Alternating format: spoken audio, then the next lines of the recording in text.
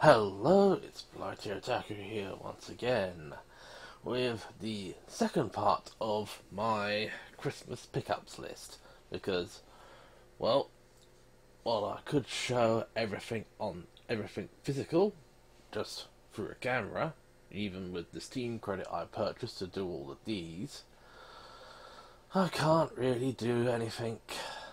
Yep, this is the only way I can actually do it. I'm rambling on again, and if you can hear any other noise in the background, that is, well, that is actually just the washing machine spinning down because my room is right near the kitchen.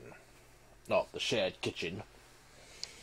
Because anyone who has watched the video about my brief, the brief walkthrough of my new place will know that I do have something that attains to a kitchen in my room.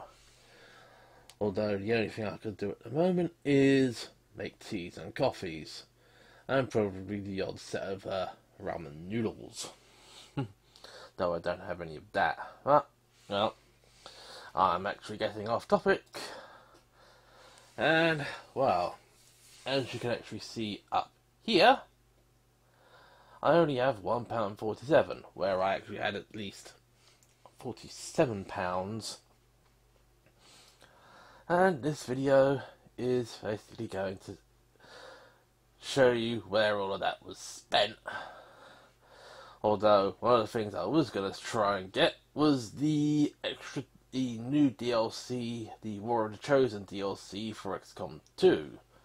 Unfortunately, that cost over 20 quid and I really didn't want to be throwing that much away for a single product. So what I did was I looted my wish list.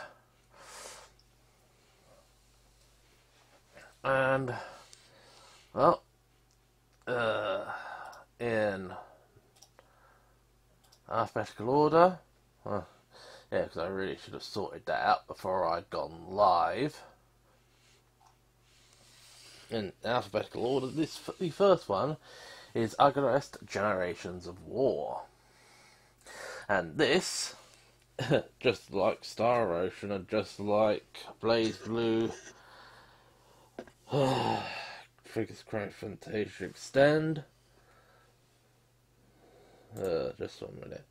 So I'm not going to go back into Steam. Yeah, it is Chrono Phantasma Extend. This is another one I actually purchased on the PlayStation 3, although if I remember, the I'm not sure if it was the American or the European release was censored.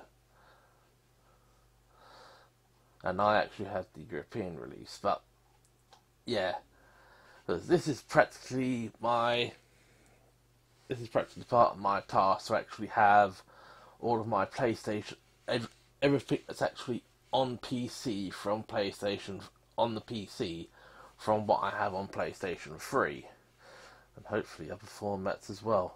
Actually, there it there are other formats on here as well. Uh, yep. At the door on the time, yeah. yeah. So you can choose paths to light, the darkness, or light, spanning multiple generations. So you end up having kids. That's very good. Yeah. Yeah. Very decent requirements, and it actually does run very well. Yeah. Probably something I might actually do a series on if I ever get the hard drive space available because I'm about down to 200 gigs a piece on each of my hard drives. So, yeah, and this because I bought because I just bought the standard and I actually only brought the standard pack, standard version, and not the collectors. So you get a load of additional materials and that was only £4.39. number two is Eden, and this was actually pretty much a blind purchase. Excuse me.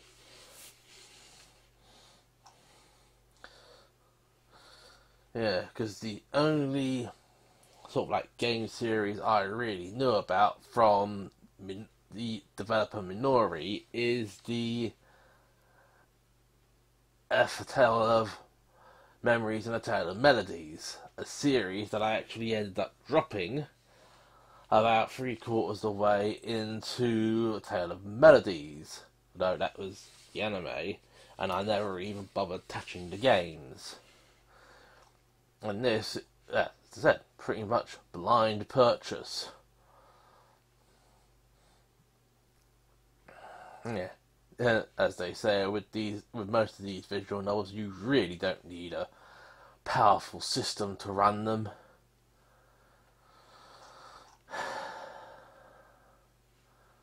So, next on the list, well, it's a game I was originally intending to purchase on the PlayStation 3, but I actually played the demo, the Japanese, demo for the Japanese release, and I wasn't really too enthused about it.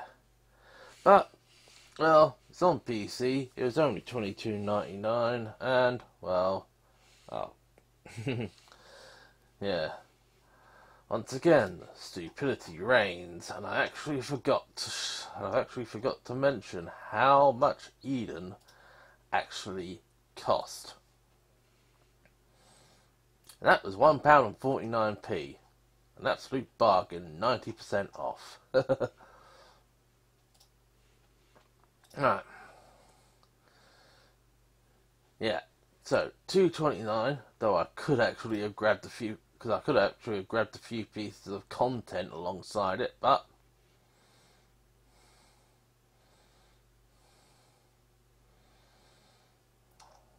uh, I really didn't. I really wasn't the uh,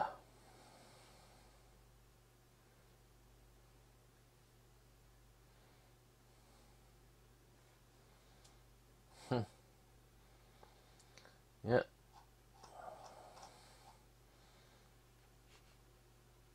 Yeah, so Fairy Fencer. There is actually a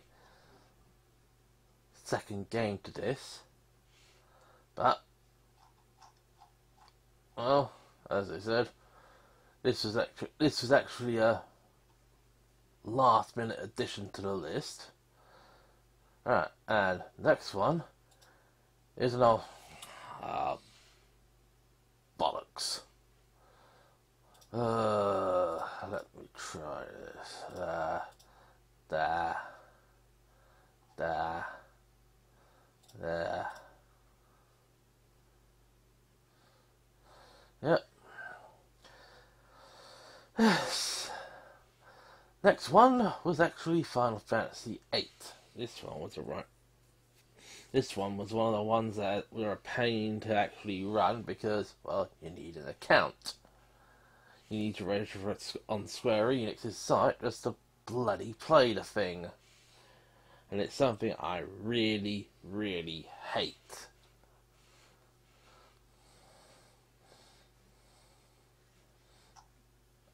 Yeah, this goes back to face. Yep, stop being stupid. Yeah. So, Final Fantasy VIII, because I actually have this on the original PlayStation.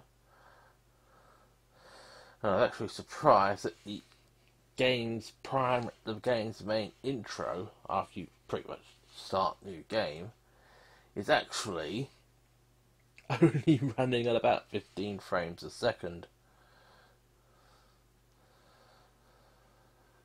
and hasn't held up well. And quite frankly, I probably should have spent the money elsewhere and uh, emulated the PlayStation version with some better with some enhancements for graphical for graphics.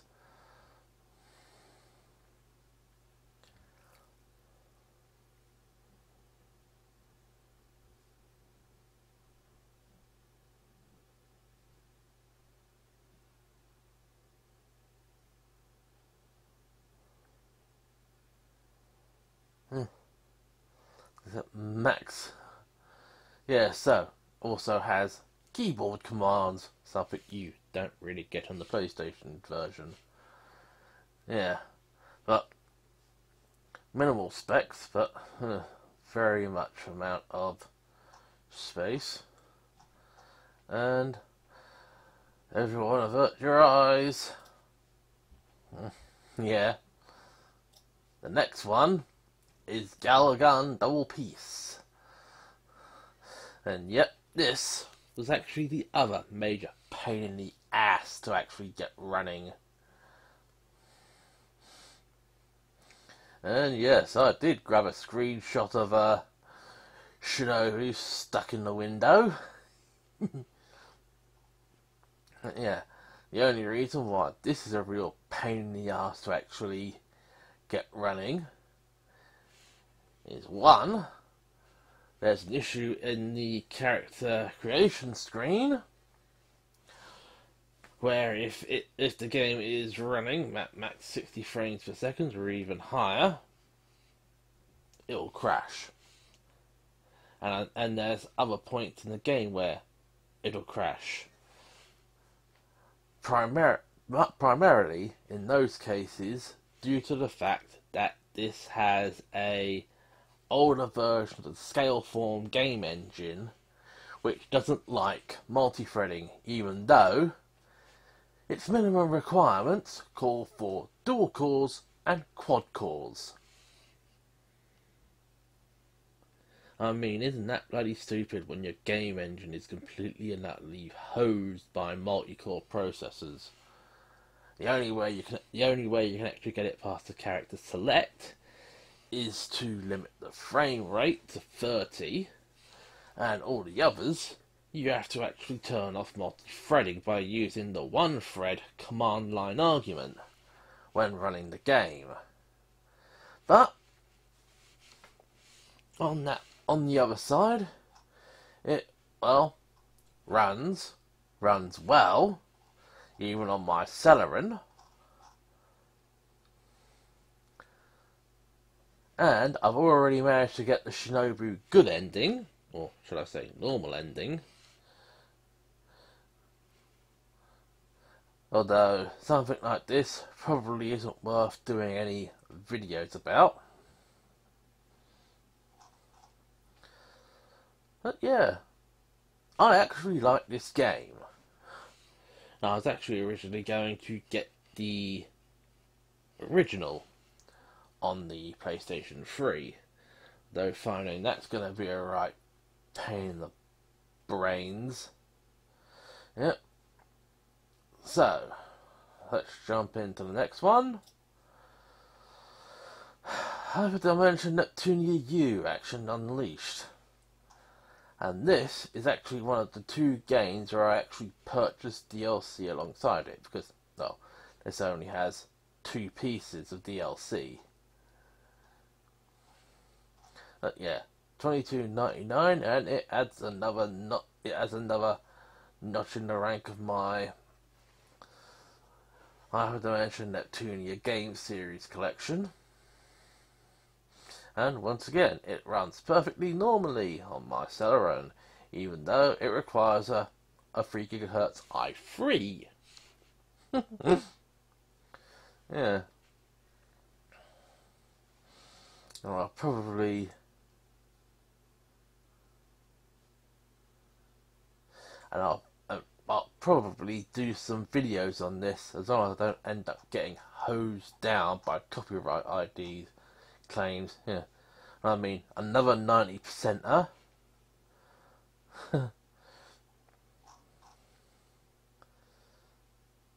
so yeah, next one.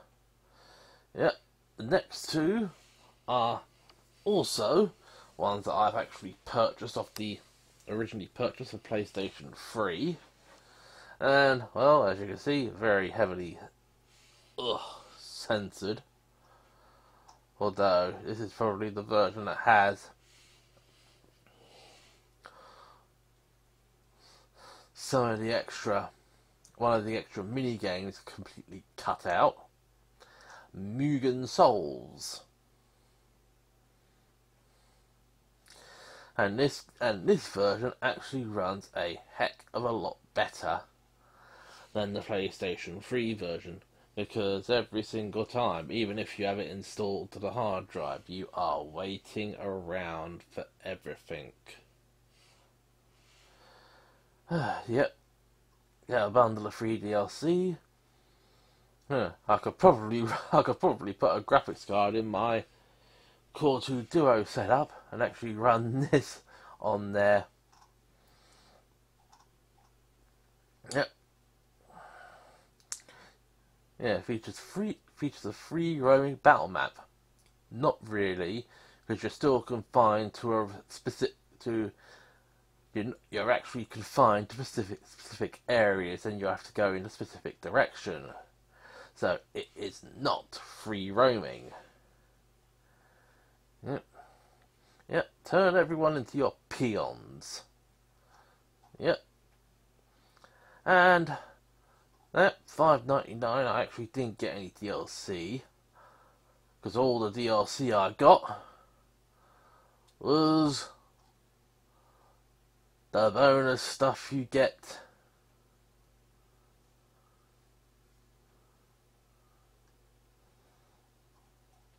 Yeah, you got a nice amount of bonus stuff. And that was for five ninety nine. I also purchased Yep. Mugen Souls Z, the sequel. And also something I have on the PlayStation 3. Yep, so you go back to Lady Chou-Chou continues to arrest the contact the tour so it will to make everyone and everything a peon. Yeah. And by Compile Heart. Most people actually call them compile fart. Don't know why, but yeah. Yeah, but these two probably won't be something I would actually do videos about because of some of the content. Yep. I'm actually going to scroll that down because I think there's a very. Mm, yeah. The next one. yep. Go. Continue. Repage is Nekopara Volume 3. And before anyone asks, I actually have volumes 0, 1, and 2 already because I got them with the Sekai Project humble bundle. Along with a heck of a lot of stuff. And this, even though it says as suggestive content, these are all very for these are the all ages versions. This is the all age version. If you want the adult content, you have to pay more. I paid £5.24. I'll probably have to pay about another mm-hmm, six quid to actually get the adult content patch. Although I haven't really gotten that yet. Yeah, it's volume 1, Volume 0, because Volume 0 is actually a fan disc for Volume 1. Volume 2, because I already had these three, and Volume 3. And what I actually did to save a bit of money was I, instead of actually purchasing Volume 3 as its standalone, it still offered it. It still offered the bundle, but it didn't offer this 48% discount. I think it was about 32, 33% off. I only paid just over four quid by actually just using the bundle offer instead of the standard instead of the standard order, yeah, which was very uh, yeah. And next is another practical blind purchase. Is Panzermädels Tank Dating Simulator. Yep.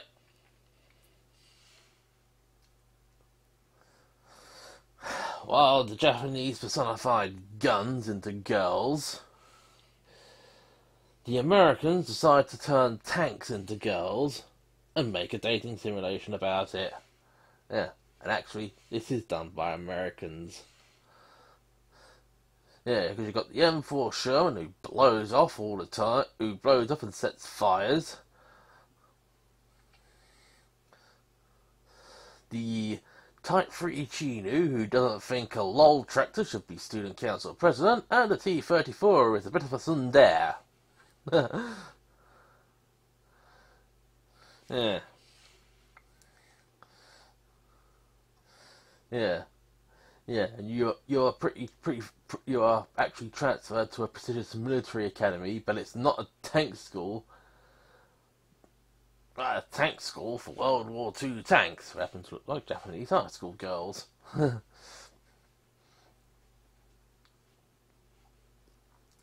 it says features: join the army, see the darkest depths of your frail existence with world crossed out meet fun and interesting tanks with people crossed out.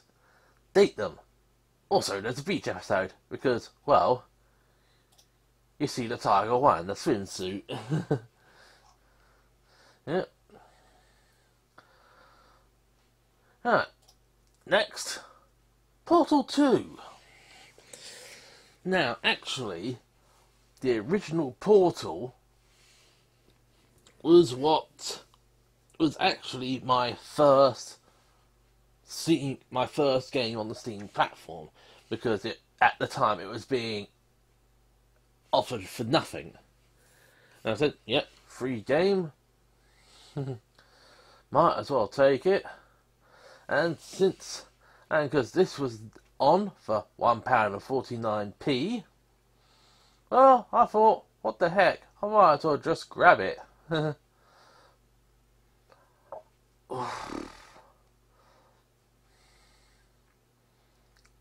yeah.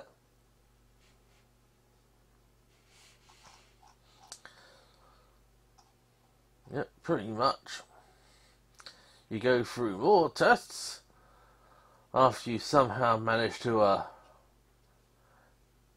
power GLaDOS back up and uh, she puts herself back together. Hmm. Yep.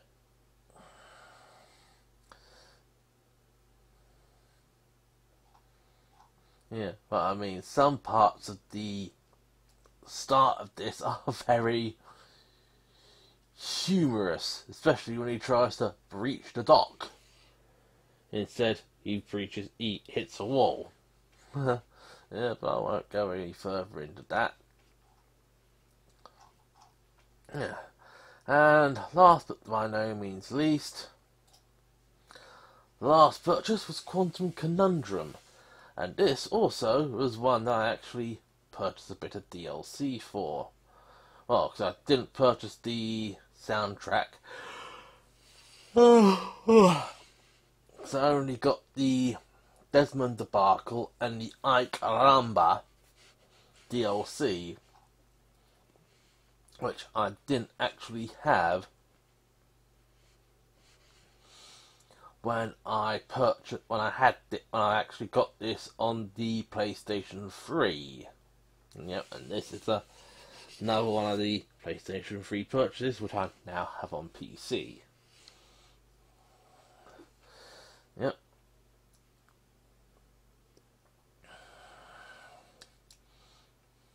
Yeah, this will probably be something that I actually do do a video on.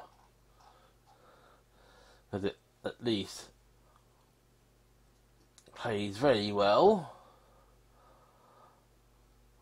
on the uh, hmm, on the celly. So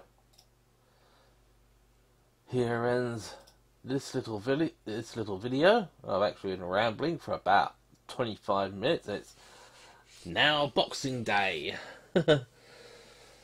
so I'm gonna wrap this up, get it uploaded, and well, try and get something else done because I really do want to actually get a few things started. So, that's that. That's that. It's Blight. Now, this is Blighty Otaku signing off. Until next time, I'll catch you later. And for those who are still celebrating when this goes live, Merry Christmas and a Happy New Year.